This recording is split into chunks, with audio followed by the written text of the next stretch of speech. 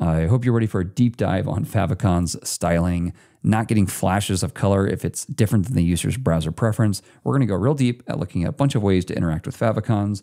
And we'll also talk a little bit about how to interact with like JavaScript elements. So when you toggle a button, it saves it to local storage. They come back and get their custom theme. All of this in today's deep dive on favicons, theming, and local storage. You ready? Let's go. Hey, what's up? My name is Chris, and welcome to Coding in Public. Let's get started here. I've got this project you can download below, and I've got to open at port 5500 with Live Server, which is an extension that lets you view HTML files essentially. So I've got an HTML file, a CSS file, and an app.js file. So the first thing I want to do is talk about some CSS only solutions where we can choose between the dark and the light based on whatever the user preference is. So in the head of the document, let's add another link, and the rel here is going to be equal to icon. I just need to provide an href for the icon, and it happens to be at the root directory, and we're just going to do dark.png. I could close it off right here, and it should work, um, but we can add a couple other things as well. So let's make sure we know the type is image PNG, and then let's copy this down, and we're going to change it out and have light as well. So we've got two options here, and we can essentially use HTML only, I guess, to start with, just by adding some media queries directly here. So this takes a media property here, where we can just simply define prefers color scheme. And if the color scheme is dark, then we can choose the dark option. So the light will be our default unless they happen to be in dark mode. Now I'm in dark mode on my machine, so I'm getting the dark mode icon. Let me go ahead and change my machine to light mode. And now you see it chooses the other icon. All right, so that CSS media query embedded in the HTML here changes it for us, and that's it. We still have to have two tags here, so wouldn't it be nice if we could have simply one tag like an SVG and just change it dynamically? Well, we can't, so let me go ahead and comment these out. Actually, we'll copy this one over. I'm going to drop this right here. We'll change this out for favicon.svg. And I can also change this out for image svg plus XML. All right, so now this one should work, and it does right over here. But what we want to do is make this dynamic based on the user's media color scheme preference. In most modern browsers, this works. Sometimes Safari has some issues, so we're going to talk about some other fallbacks and things. But let me come over to the SVG. All right, so here's my SVG, and you see we've got current color for the fill for both of these right here. What I can do is change this out and maybe let's just give this a class. So I'll come in here, I'll have a class and we'll have like, I don't know, we'll call it fill.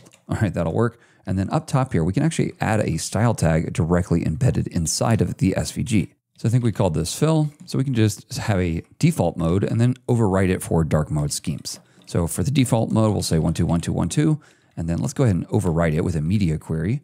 So whenever we're in a prefers color scheme dark, that is the user prefers the color scheme, we're going to just change up this declaration. So let me grab this right here and we'll paste it down below. And then I just want to change the fill. And here we're going to do our light mode. Okay, so now that I'm in light mode over here, you'll see I have the dark icon. And then as soon as I switch my system back to my preferred dark mode, actually I have to refresh, and now you'll see that it shows in dark mode, so the light color.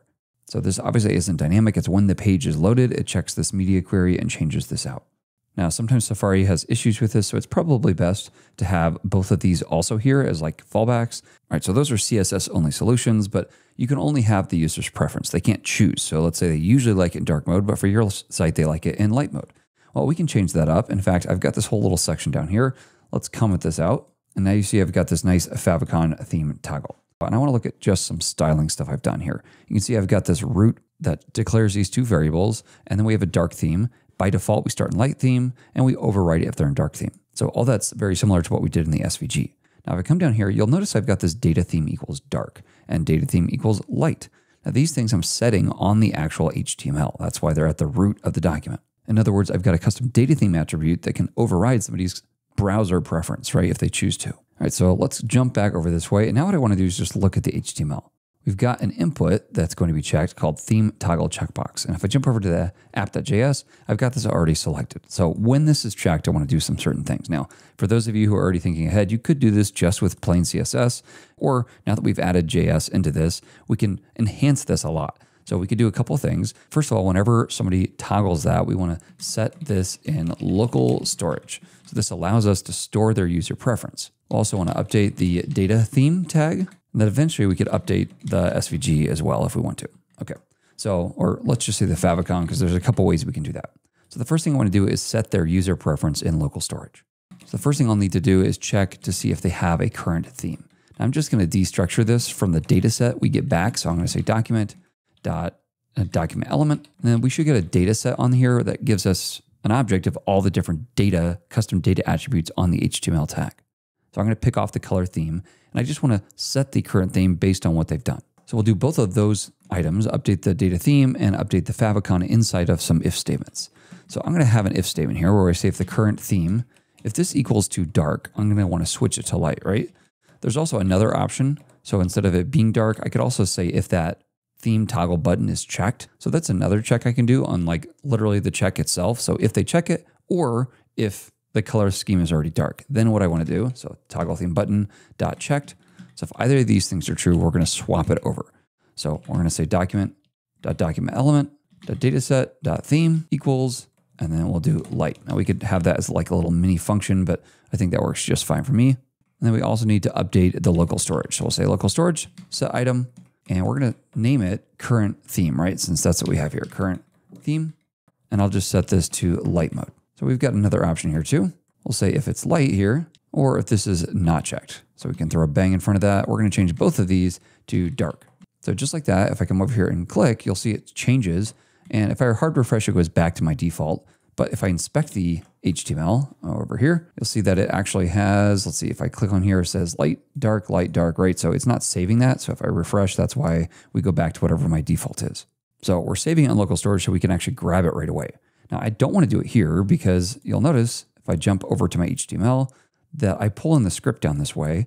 But by that time, the CSS is already loaded. The favicons are already here. Let's actually move this up above like that maybe. Um, so we've got the CSS and the app.js. So what I want to do is write this inline so that it happens basically before any of this gets painted. So let's write a little script tag right here that's going to do this work for us. That way we don't get that flash of white or dark. It just checks first, adds the HTML attribute, and by the time that the, the, the style sheet loads, we've already got that data theme equals dark or data theme equals light on it. So let's start actually by grabbing all of this right here. So I'm going to grab all this because we're going to use all this again. Now, the reason I have to do it in two different places is because one of them has to wait until I have the actual button on the page. So at this point, the button is not yet on the page. It hasn't drawn it on the page, so I can't select it. That means this whole theme button checked, all this kind of stuff is not going to work. So we're going to get rid of this, but we can check on whether or not it's light or dark mode. At this point, we also shouldn't have any data theme attribute. So we can't check on that. But what we could do is take the current theme, that's what we'll call it here, and we're just going to grab this from local storage.get item. We're going to get the item that we stored. That was called current theme. Okay, cool. So it looks like I used light mode last. Let's come over here. And then what we're going to do is just check to see if there is a current theme. So let's uh, actually, maybe let's pull this one up. We'll just check on whether there's a current theme. And if there is, we're going to basically put all these if statements inside of it. So we'll walk through this logic if that doesn't make sense what I'm doing. But I'm first checking that we have something in the local storage. If we don't, then basically I'm going to come over here and add like some JS uh, media queries where I can use the, the user's default preference to set that as well. Okay, so if there is a current theme and it happens to equal to dark, then we want to change a few things. We actually want to set this to dark. Now we don't actually need to set the local storage, but what we're going to do is update uh, the icon. So we'll do that in a second. Here we're going to change this to light and we'll get rid of this as well. Okay, cool. So now it should load for us automatically. If I come over here, we change to light mode. Even though I'm in dark mode, if I refresh, you'll notice I don't get any kind of like dark mode and then it swaps over to light mode. I get it immediately. And that's because we're doing it in the head of the document here before any of the CSS loads. That means that when I come and I look at this, you'll see it already has data theme equals light. If I hard refresh, you'll see it's already there. So it doesn't have to wait. It's it's there immediately, which means the style I have right here applies or right here applies based on whatever that data theme is. Okay, so we can also use media queries if we want to. Prefers color scheme. We'll set this to dark. And we'll just say dot matches. So if this matches dark, then we're to add this right here. In other words, if they don't have something in local storage, we want to add this anyhow, and then we're actually to update the local storage as well. So we'll set that equals to dark, and then why not have a else statement? So if this is not the case, inside this else statement, we'll have another one that says, now we're to set this to light, and we'll set this to light as well. In other words, the first time they come, if they don't have something set, we will actually set it for them. So this will only ever fire the first time somebody comes to my site. After that, they'll always have a current theme, unless Safari clears that cache or whatever, because um, that happens pretty aggressively on Safari. So now I'll come over here, and now I should have this light mode. Now all this is again being stored in our local storage right over here. So if I jump into local storage for here, you'll see I've got the current theme equals light. If I toggle this, it should switch me over. Okay, cool.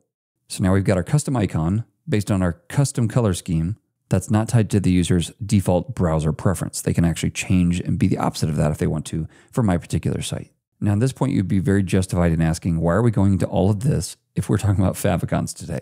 Well, that's because part of this process is you can actually use JavaScript to swap out the icon. And there's basically two options we have based on what theme we happen to be in. So the first option here, let's go ahead and get rid of this one right here. And we'll just get rid of this one as well. Okay, so the first option is we can actually just set the icon right here. So we can do document.query selector, and we're just going to select the icon. We can say if there's a link with a rel that equals uh, icon, then I want to set the href, and I could just change it out. So I'll say I want this to be dark.png, like that. And I can come over here and say otherwise, I want this to be uh, light.png. Of course, we have to repeat this as well for the very first users that come here. So we're going to set it down here. And I guess we'll set it here and change it to dark as well. So in other words, I'm now using JavaScript to select the, the icon I want. Now you'll notice I've also got to do the same here in my interactive element. So I'll come back over here. We can update the favicon as well. So I'll add this here. We're going to set this to light. That'll work. And I'll set this one to dark. So now when I click here, it should actually swap the two of these as well. Okay, if you followed me this long, you'll see I actually do have a logic error. I just realized. So if I come over here and I click first time in light mode, because the box is not currently checked, like the, the toggle button is not already checked, it's it's gonna air out on me. So probably what I need to do is actually check this first. So on page load, decide whether or not it's theme dark or theme light, and then change the actual checked status first, and then it will work. All right, I'll leave you to fix that if you'd like to. I do want to talk about one other thing you could do. Instead of changing it out here, you could come back over here and undo this favicon, change out the favicon to instead of using like our custom styles up here, you could use current color and then just change the actual color using JavaScript. So it'd be uh, the style dot color, and then you would change it to either light mode or dark mode respectively. So a bunch of ways to play with themes and favicons, and especially this initial loading state is super important to get right. And that way you don't get that flash of color. Okay, well, thanks so much for watching. I'll catch you in the next one. Happy coding.